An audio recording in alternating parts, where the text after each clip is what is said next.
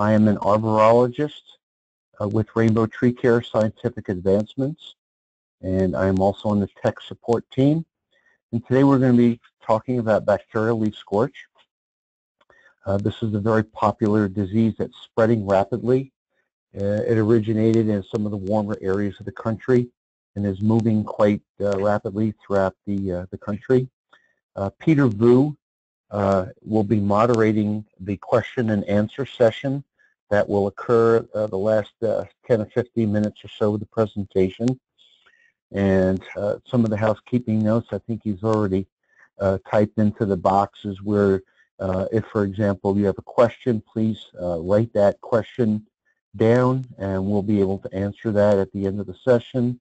and then if you've also have not put your ISA uh, ID number in there, do that in that box as well. So uh, this will be recorded and you will be able to refer to this webinar in the future. So what is uh, bacterial leaf scorch? Uh, we're going to go over a little bit of the history of this particular disease uh, and more important, uh, where it's located throughout the country, which species seems to suffer the most from BLS, how is it distributed, uh, how do we diagnose it? And then we're going to be discussing some of the treatment uh, protocols, the management protocols. You notice the word management uh, is used uh, because we can only manage and deal with this problem. There is absolutely no cure for it at this particular time. So bacterial leaf scorch.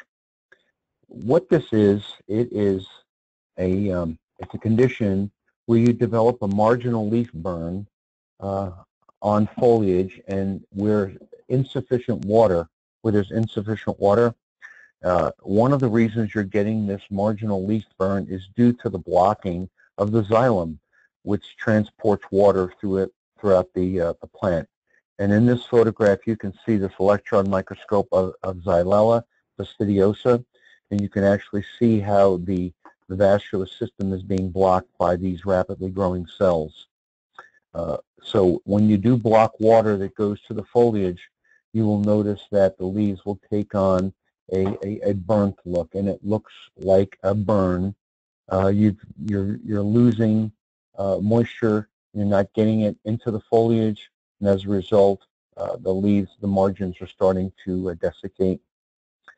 Uh, they will first start on individual leaves, branches, uh, untreated this tree will take several years to uh, eventually die back.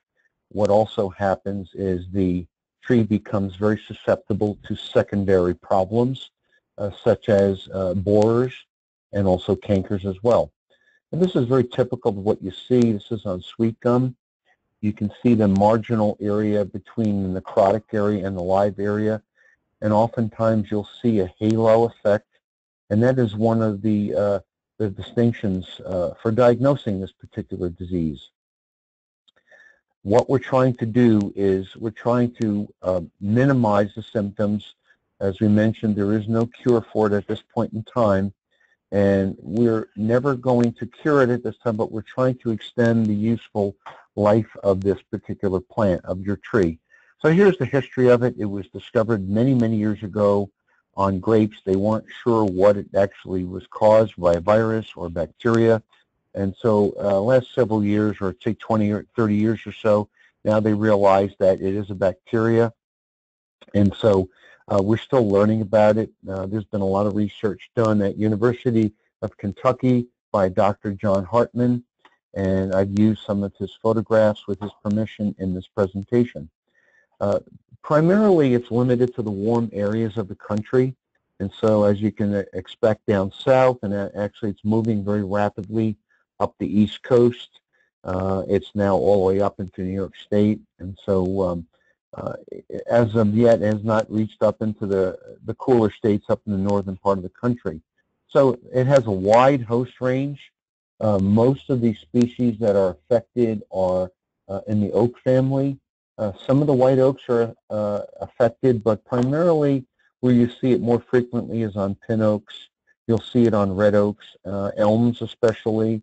And also it makes it very challenging uh, when it's on elm trees because you know they suffer from uh, Dutch elm disease, and so it, it's very difficult to to distinguish between um, the Dutch elm disease and the bacterial leaf scorch.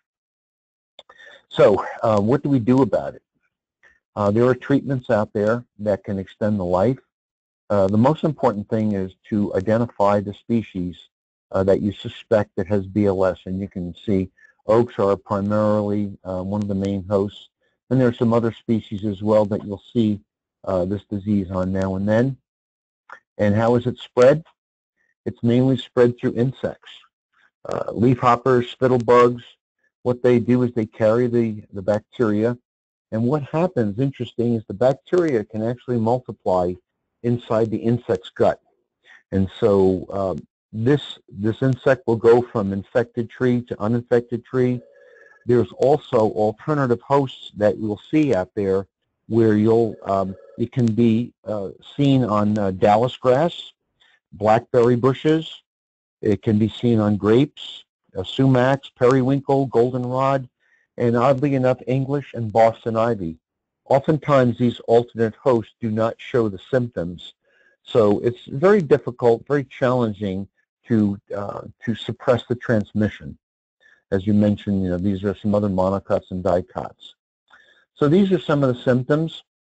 Uh, what's very interesting, and many people are sort of tricked, uh, this disease will actually, um, the plants will leaf out normally in the spring, and sometimes uh, non-professional homeowners will then, uh, you know, think that this disease is no longer affecting their trees. But uh, they'll leaf out normally, but as we start to get into the drier months of the, of the season, you'll start to see some of this necrosis develop.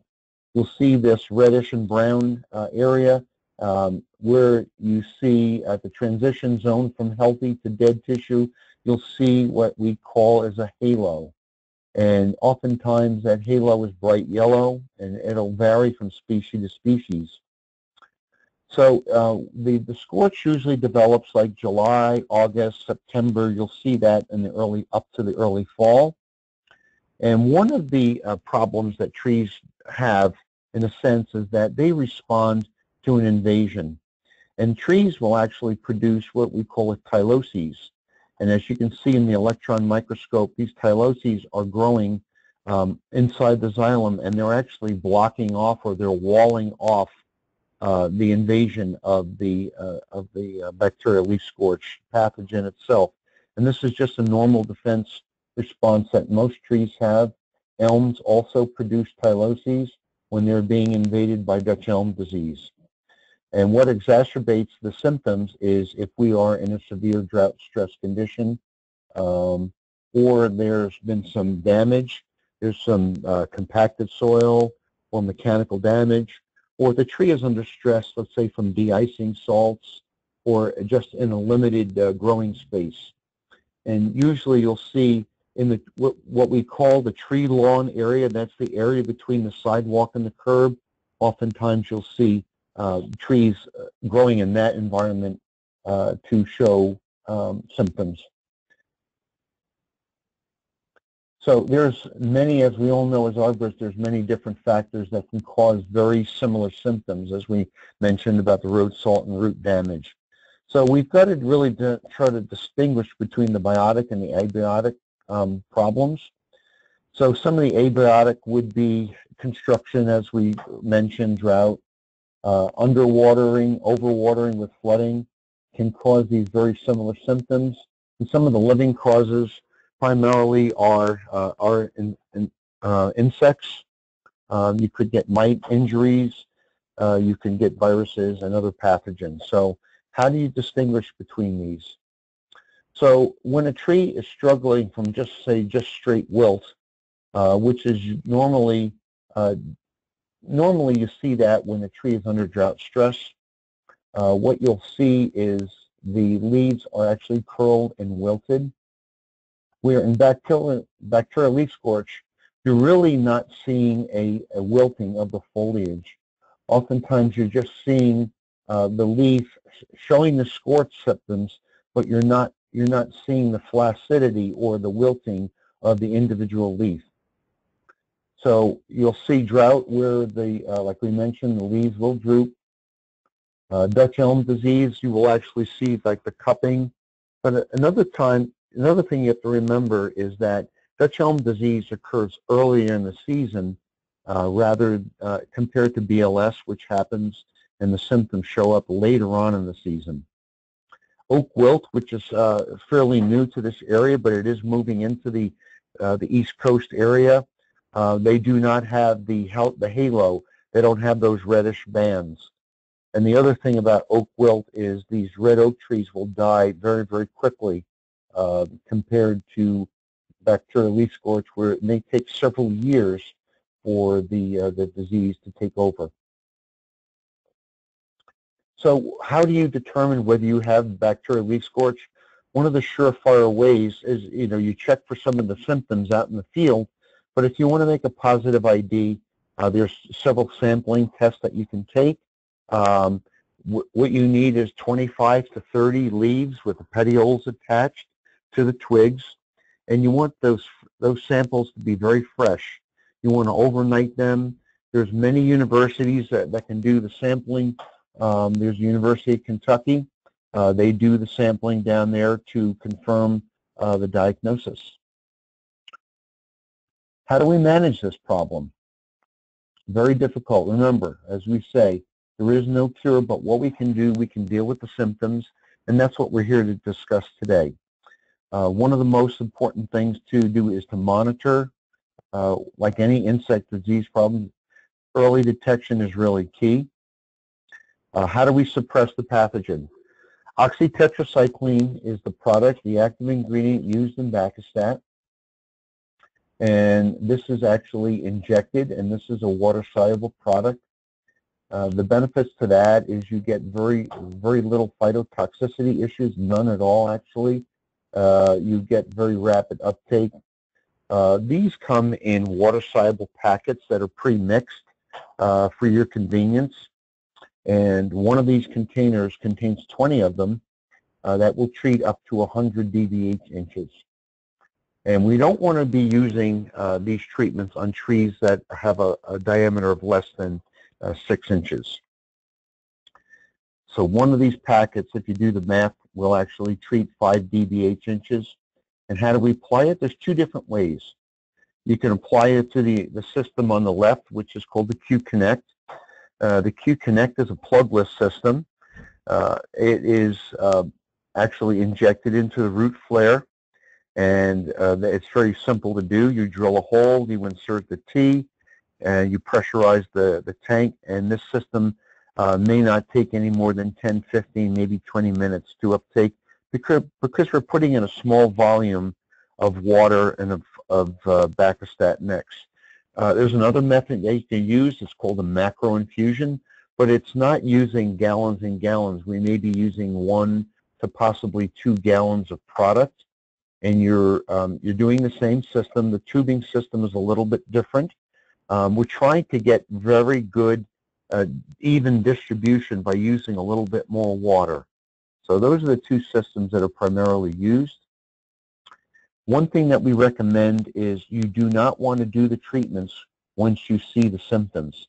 Uh, we, we would like you to see to get the treatments in uh, in June, uh, no later than the end of June or July 1st for the most effectiveness. Um, and you will most likely find yourself repeating this injection treatment every year. How do we apply it? We apply it to the Q-Connect plugless system. And how do we determine the dose? We take the diameter, which we take at four and a half feet above ground, and we divide that by two. Uh, that will tell us the number of injection sites. Uh, we're using one of the water-soluble packets um, in a very little amount of water, actually, one and a half ounces of water or 45 mils, and that will actually treat five uh, dBH inches. And we put we place the product in the tube bottle. We try to make even distribution. Whenever you're doing root flare injection, no matter what you're doing it for, for emerald ash borer, for Dutch elm disease, you want to equal, evenly distribute and space out the injection sites to get the best possible distribution. where we're using macro infusion, we would like to uh, combine that with uh, about 26 ounces of water for every packet.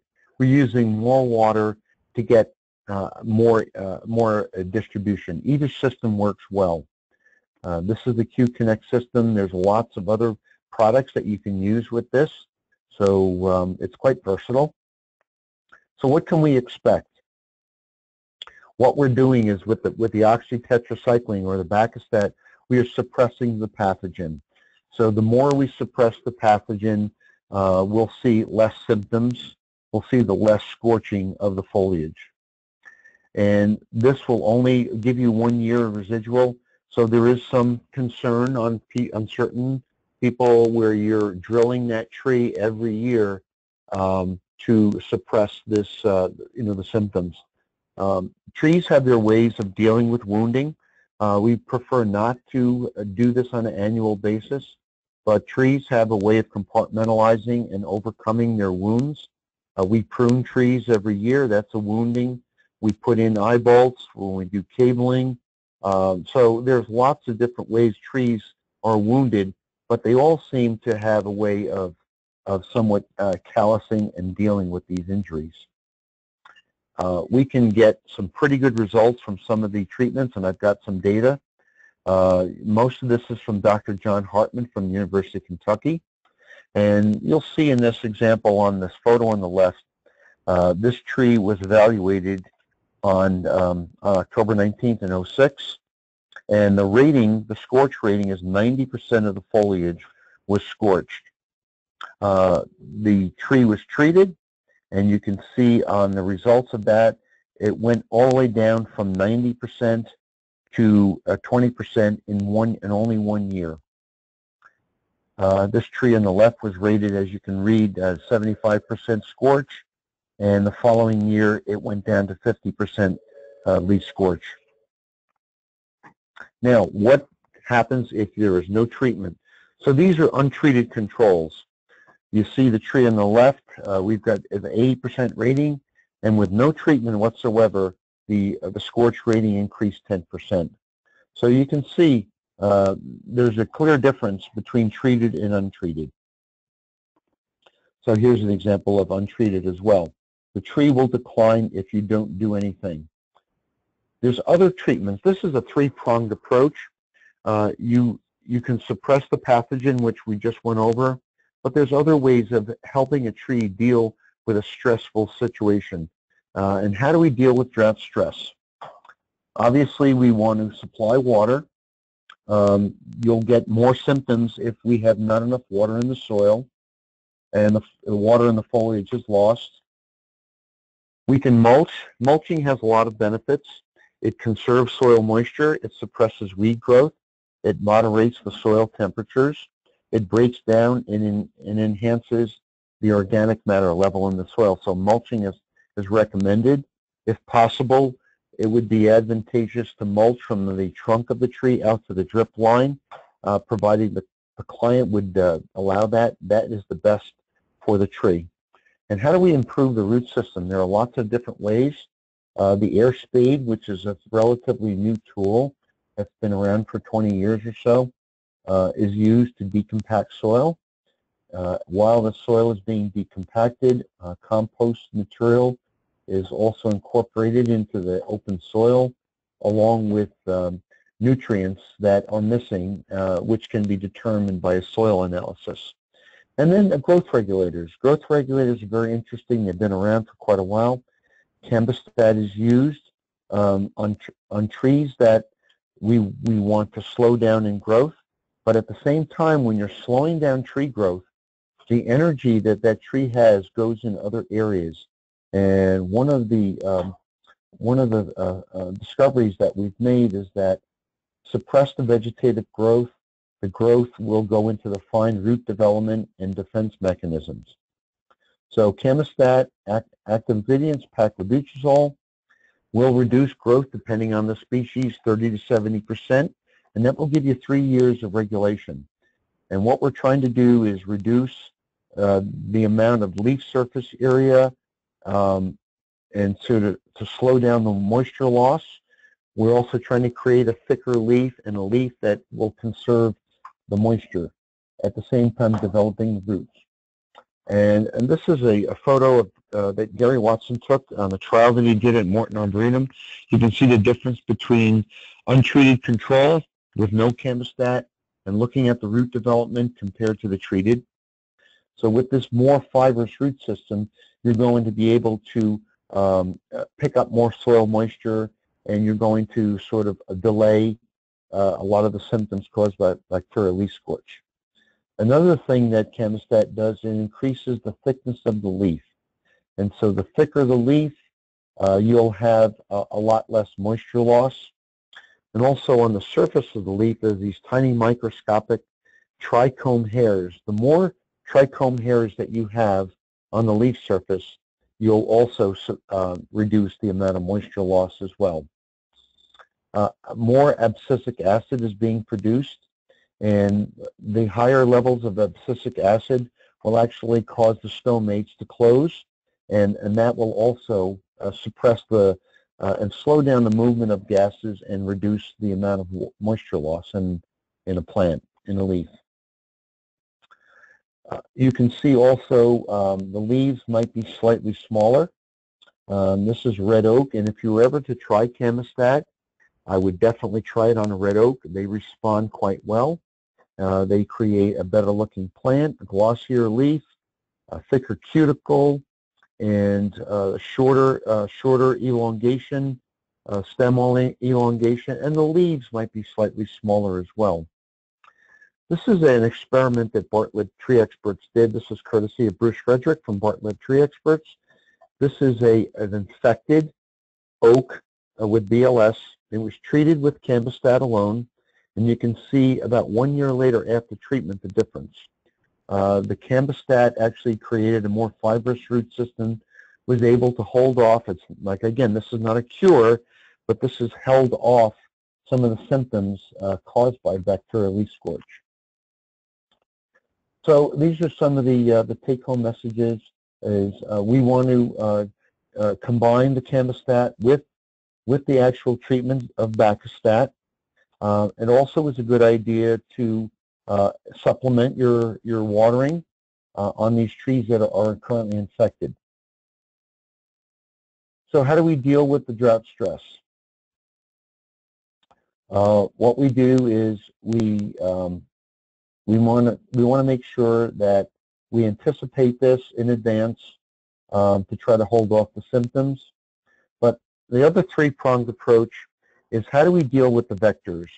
Uh, what is causing the distribution of this particular disease? And most of them are the insects that are, um, they're xylem feeders, and they're, they're sucking, they're Homoptera. They're feeding on infected plants, and then they're flying and traveling to uninfected plants, spreading the pathogen.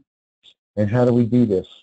Uh, we can do this where you um, you could apply systemic insecticides, and they're very easy to control. Zytec, which is a imidacloprid, is can be applied as a soil treatment, um, a soil injection, a soil drench, or you can actually inject a imidacloprid into the root flare, and all of these vectors will be controlled. Uh, that that would be, you know, that would be my suggestion mainly because they are going to spread this disease, uh, and not only from tree to tree, but they're also going to be spread uh, the actual pathogen from some of these alternate hosts that I mentioned, some of the uh, some of the perennials, some of the grapes and uh, ground covers and what have you. So if we theoretically, if we reduce the number of vectors, we're going to reduce the amount of, um, uh, inoculum that's spread from uh, from tree to tree. So, but don't expect this to be the, um, you know, the remedy for the, um, for the particular disease. We've got to really do the treatments. How do we do these treatments? We use the, uh, the Cambistat. We can use it as a drench, or we can actually inject it into the, into the soil. Um, one, so one thing that you want to do in order to get started um, in this, you have to know your costs. And I apologize, I've got some costs in this particular presentation that I have not, not updated. but I just want to give you some idea of the process and not necessarily focus on the costs of the products. Uh, one thing that we can do at Rainbow is that we can supply you with marketing uh, material. These are uh, brochures, door hangers that we can give to you, that you can give to your clients to explain all the different treatments that are available uh, and help you sell the, the service, and sell the treatment. So this is a multi-year approach. Like we mentioned, this is not something that's going to go away with one treatment. We, we said this time and time again, there is no cure. And setting the expectations, you know, that's really what it really comes down to. Um, and so here's an idea of what you can do. Uh, this is knowing your product costs, knowing what your Bacastat, Cambistat, and Zytec costs on a DBH uh, uh, level. So I apologize. These are based on 2008 price lists. And I think in some cases, a lot of these prices have actually come down. And so I would uh, probably say that these prices are a little bit on the high side. So you will get lower prices than this. So how do we price this? For example, you price this, maybe you do it over a three-year period. You know, you look at this tree, for example, a 12-inch pin oak, uh, based upon the DBH, these are your product costs. This would be your markup if you're marking this up as an arborist, and this would be the treatment costs. Okay, so for year one, your your product costs are $232.92. Now year two, we would not recommend the Cambistat because keep in mind Cambistat has a three-year residual. So we're eliminating the Cambistat year two and year three. So to give you an example, this is what the cost would be for a three-year program, 567, 70, 72. So you can break it down for the client. This is what you're paying um, the cost per day amortized over three years. So these are some things that we can work with you on. And, uh, and that's the end of the presentation. And I just hope that you, um, uh, if you have any other uh, any other questions, uh, please write them in in the chat box. Also, if you are uh, interested in dealing uh, with this problem and want a little bit more personal care, feel free to contact me. And I'm going to give you my name and my cell phone number. And I'd be more than willing to help you on a one-on-one -on -one basis. Also keep in mind, Rainbow has, has territory managers all throughout the country. And you can easily reach out to them um, and, and ask for their assistance as well because they are all quite proficient in dealing with this particular disease. And I think I'm, I'm available right now to take some questions. And uh, Peter Vu is going to be moderating the, um, uh, the question and answer period. So Peter, um, um, you um, want me to do anything right now? All right. Well, thanks, Jeff. Uh, we do have one question here uh, from Albert. Uh, what nutrient factors help to suppress BLS? What nutrient factors? The only way you can really determine that is is just take a soil sample. Uh, you can't tell what's deficient by looking at the tree. Uh, we all know that oaks have a tendency um, to develop a chlorosis, iron chlorosis due to higher soil pHs. But my answer to that is take a soil analysis and provide a prescription fertilization treatment because not all macro and micronutrients may be deficient. You'll have to determine that from a soil analysis. All right, thanks a lot. Um, and if you do have any other questions, feel free to type them in. Uh, doesn't look like there are any uh, right now, uh, but we'll stay on the, oh, looks like one just came in. Uh, when is the best time to apply tree growth regulators? Tree growth regulators can be applied anytime the soil is not frozen. Um, I have applied tree growth reg regulators up into the month of December. As long as the ground's not frozen, in some areas of the country, especially in the mid-Atlantic and the South, it's applied year-round. Um, one thing, if you apply a tree growth regulator right now, let's say you're using Cambistat, it's going to take a while for that product to become uh, activated in the tree. Most likely, applying a growth regulator right now in late May, early June, you most likely are not going to see the beginning of the symptoms until late this summer or early fall, but more uh, will be more evident in the early spring, and that is Cambistat. There are other growth regulators that are foliar applied, and that product is called TrimTect. That will be seen in a matter of weeks. Uh, so that's a foliar applied growth regulator. Okay, thanks a lot. Uh, and so Jeff and I will stay on the line here for a couple more uh, seconds. Uh, if you have any questions, continue to type those in. Um, otherwise, uh, we will we uh, will be ending in a couple minutes here. So uh, again, feel free to type those questions in if, if you have any. And if there aren't any that come to mind, you can certainly reach out to Jeff. He did type in his phone number, um, or you can reach out to Shannon Herbst, who's also the uh, who's the territory manager uh, out in the Mid-Atlantic uh, states there. You can reach out to her if you have any additional questions or if you want more one-on-one -on -one training around bacterial leaf scorch or any other plant healthcare topics. One thing at Rainbow, what we do is a lot different, um, is um, we want to make sure our clients are successful in business. Uh, we just don't sell you the equipment. We don't sell you the product and say good luck. Uh, we take the time. We spend the time with you. And most of these, uh, most of the training is done in in in-house, uh, in the office, and we'll actually go out into the field, and we'll get out there and we'll actually show you how to do the treatments. Our goal is for you to become successful and do it the right way, and, and that's my job. I enjoy getting out there, work with clients, I learn something new every day. Believe me, I've been doing this for many years, and I learn something new every day. So I really look forward to helping clients, uh, sharing ideas, sharing opinions, and uh, my goal is to make you, you successful. And that's the whole rainbow philosophy. All right. Thanks, Jeff. Well, uh, I want to thank you all for joining us today.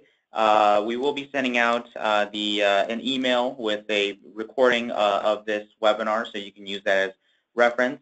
Um, there is a post survey uh, that fo follows immediately after um, this uh, webinar. So if you could take a, a, couple of minutes and fill that out, that would be much appreciated. we're always looking at ways to improve what we do here at Rainbow. So thanks, thanks again for joining us today, and, and have a great rest of your day. Thank you, everybody, for attending.